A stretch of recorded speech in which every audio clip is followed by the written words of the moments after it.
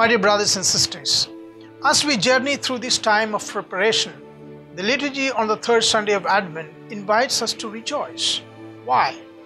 It is because God becoming one among us, which Advent enables us to look forward to, is the only source of true and lasting joy. Genuine Christian faith does not make us long faced, rather, it should make us enthusiastic and happy. Well, what is it that will bring us joy and happiness? Anything good that we possess brings about joy. But all the good things in this world, apart from God, are temporary and fragile. Money, success, health, even friendship and being in love, all these things are limited. If circumstances change or with the passage of time, we either become tired of them or they just go away. And so, the joy that comes from possessing them is only a temporary joy. But our hearts are thirsty for a joy that will never go away. Where do we find this joy?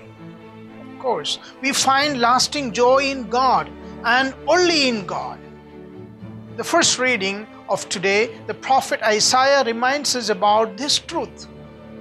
I rejoice heartily in the Lord. In my God is the joy of my soul, for he has clothed me with the robe of salvation and wrapped me in a mantle of justice. None of our personal achievements should distract our attention from God and His plan for us. When we are totally focused on God, we feel compelled to eliminate from our personal lives all duplicity, vanity, and inflated self esteem. We begin to live in the truth. We learn to do this from John the Baptist, who without any difficulty admitted, I'm not the Christ, I'm not the Messiah, I'm not one of the old prophets come back to life, I'm not the new Moses of Israel's expectations. I am merely a voice crying in the wilderness. I am here to prepare the way for the Messiah. There was no duplicity in him. How can we possess this joy? We can possess true and lasting joy only by cultivating a disposition to acknowledge God's goodness in all circumstances of our lives. St. Paul, writing to the Christians in Thessalonica, advised them Rejoice always Pray without ceasing. In all circumstances, give thanks, for this is the will of God for you in Christ Jesus. This doesn't mean that we have to spend all day on our knees, but it does mean that we have to spend quality time alone with God every day.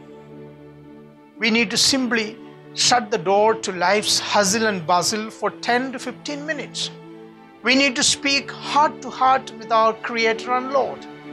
And then, throughout the day, we have to keep that conversation going in our hearts. When the task seems beyond us, let us remember that we are working for a future that is rooted in God. And let us learn from the Baptist that the effectiveness of our life and mission will depend upon the selfless commitment we have made to accomplish God's plans in our individual lives. God bless you.